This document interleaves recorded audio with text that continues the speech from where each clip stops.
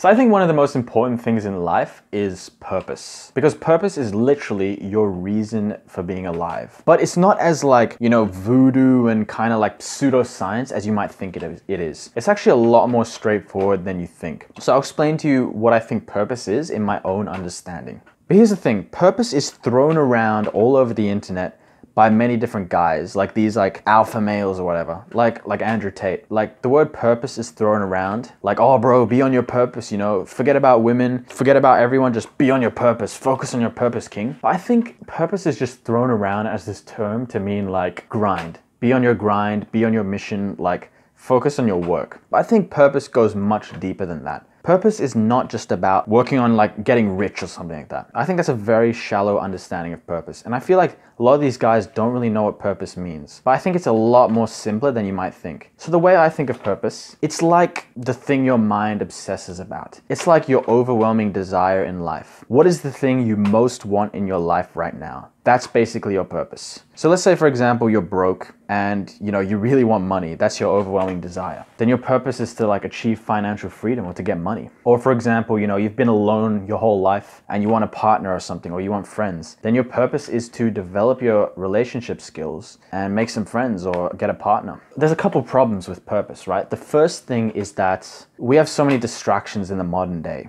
Like, for example, your mind might naturally obsess about video games, for example. You know, you like for me, most of my life, I would be obsessed about video games. The first thing I would think about when I wake up, video games. The last thing I'd think about before I went to bed, video games. Does that mean video games was my purpose? No, video games are like a distraction from my true purpose. Or like you might be a stoner and you might be smoking weed every day, right? Doesn't mean that's your purpose. So your purpose is basically what you're obsessed about, what your brain naturally thinks about in the absence of all distractions. So in this video, later in this video, I'll explain to you how to exactly find your purpose or ways you can find it. But for now, I'll just go through a little bit of what I think it is, right? My, my understanding of it. Now, I first learned about purpose about a year and a half ago from this book called, got it right here, The Way of the Superior Man by David Deida. Probably one of my favorite books of all time. I've reread it like 10 times. It is valuable. But it introduced me to this concept of purpose. And I think it's the most important thing. It's literally our reason for being here. But anyway, let me explain it in a bit more detail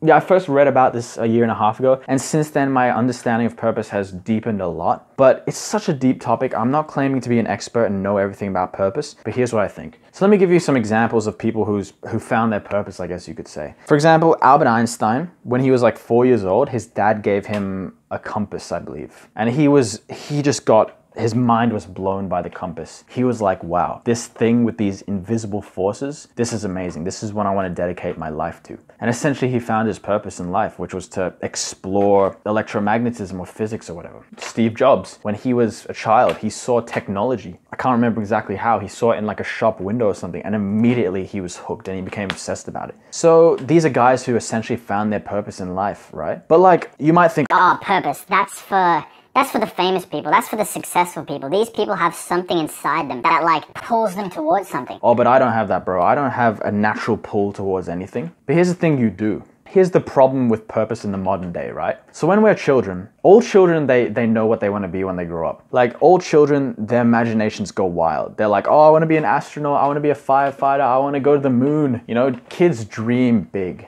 And like everyone supports them. They're like, oh, that's so cute. You want to be an astronaut. You know, they give them toys and kids just explore and they have fun, right? Like I remember I wanted to be like an inventor when I was a child or something. Like my mind was going wild. But the problem is with modern society, everyone wants to be average, right? So when a kid starts dreaming big, everyone pushes him down. Like for example, in front of his teacher, he's like, "Oh, I want to be an astronaut when I grow up," and the teacher's like, "Oh, Timmy, you need to be realistic. Chances are you're not going to be an astronaut." And suddenly, like Timmy, that voice in his head that tells him he wants to be an astronaut, he starts to push it away he's like no no no no no. This is not this is not the real me. This is not me. This is the bad part of me. Or maybe you've got asian parents and they're like oh no you need to be a doctor. You need to be a lawyer. And you know timmy further pushes away that voice in his head that tells him what he's pulled towards what he's interested in. So in the modern day because of what i said earlier of all the distractions around you and because we've pushed that intuitive voice inside us so deep no one really knows their purpose. No one has a purpose. But why is having a purpose important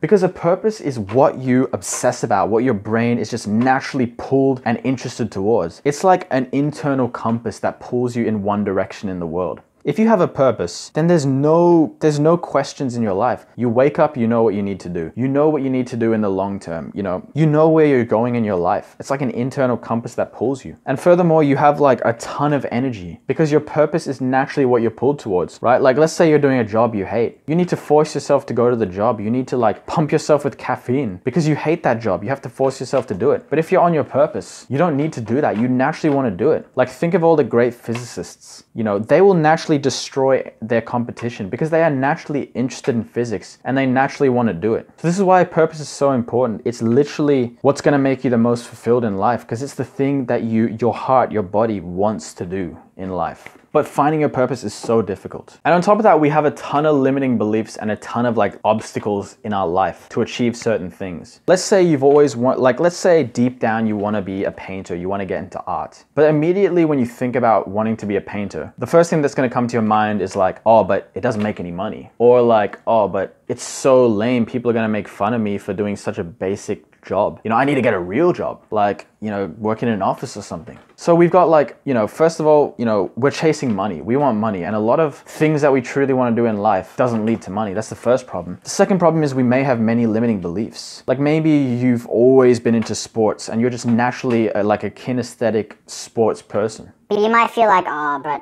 bro, I'm, I'm not good enough to be an athlete, you know? It's, too much work. You'll have so many limiting beliefs. So there are so many obstacles standing in our way to achieving our purpose. So this is an analogy for purpose that I heard. I can't remember where I heard it from. Might have, uh, might be from a video I watched. Basically, purpose is like an onion. So you know how an onion has a center and it has like a bunch of layers on top of it, right? So this is essentially like our purpose. Our purpose is like a bunch of layers. We don't just have one purpose in life, we have many purposes. So in the middle of our life is like our life's purpose, the like the purpose for our whole life. And you know, I don't know what it is. It could be like to discover the meaning of life or to discover the nature of the universe or something. But the problem is this life purpose that we have is covered by many other purposes, right? So it's like, okay, we can't discover the meaning of the universe till we've had kids and raised them to be successful. But we can't do that till we've found a partner. But we can't do that till we've developed our dating skills. But we can't do that till we've made enough money to, to keep a family alive. Oh, but I can't do that till I've traveled Europe. You know, we've got many purposes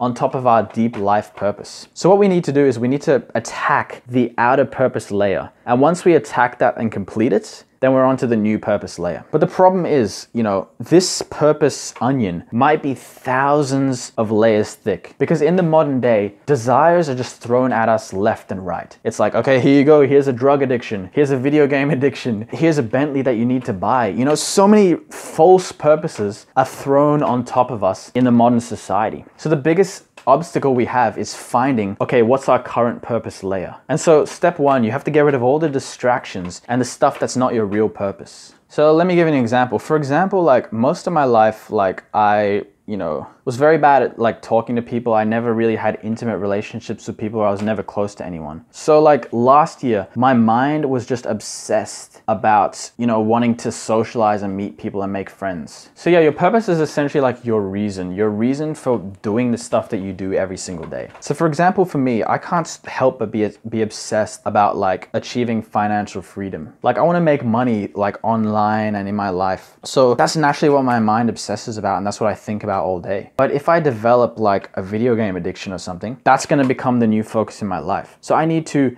peel away the distractions. So I'll explain to you a couple ways you can work towards figuring out your purpose. So the first thing is you can look into your past. You can look into your past at the things that you naturally loved to do and you were naturally pulled towards. Like here's a question you can ask yourself. What is something that to you feels like play, but to others feels like work? Like for me, filming these videos, I loved it. I'm always walking around my house like a crazy person talking to myself. And when I record these videos, I just like talk to myself, but in front of a camera. So this is like to other people, talking to a camera or public speaking would feel like work. But to me, it just feels good. It feels nice. Like I love doing this. That's one question you can ask yourself. Also, you can just audit everything you've done in your life. You have a lot more experience in your life than you realize. And you can look back and see what you loved to do throughout your life. What were you naturally pulled towards? That could also give you clues towards your purpose. Like we're always like, oh, but I want to try more stuff in my life to figure out what I want to do with my life. That's one option. But the other option is you have to realize that you've actually done a lot more in your life than you realize. Like I've got what 20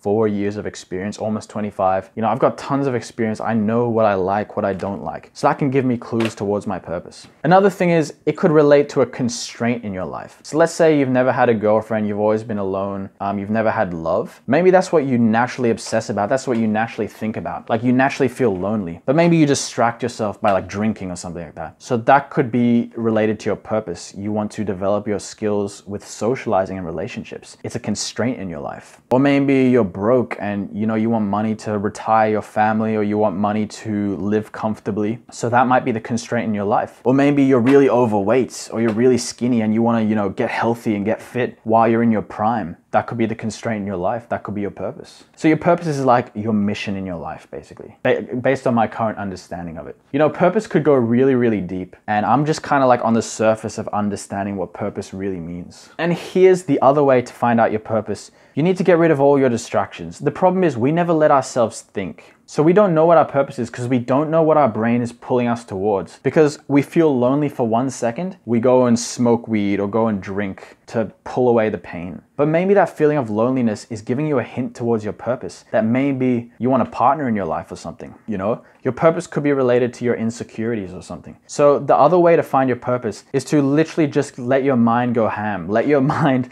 spew everything out. So that means literally sitting down. I do this a couple times a year. Literally sit down for like six hours, seven hours, ideally a couple days if you can, and just do nothing. What you want to do is you want to reach the end of thought. You want to just let all your thoughts just fly out. And then you'll realize, you'll get like a vision. You'll, you'll understand what you want to do with your life. That's the other way to do it. But here's the thing most guys are not going to do that. Most guys can't even sit down with their own thoughts for 20 minutes. I, I, think this, the philosopher Archimedes, or he's a scientist, I guess, I think it's him. He said most of man's problems comes from their inability to sit in a room in silence on their own. That's the solution to a lot of your life's problems, literally just sitting on your own. Even I struggle with this. It's painful to sit in your room being bored but that could be another way to find your purpose. Society is so against us with finding our purpose. They're so they want us they want to push us through the system, the education system. They want to push us through, you know, the machine to make us all average, make us all, you know,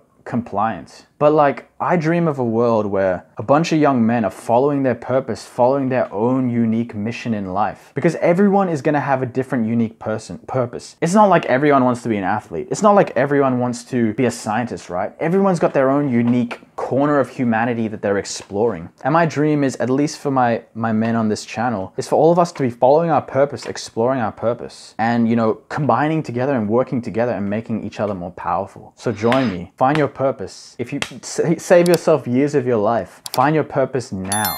See you later.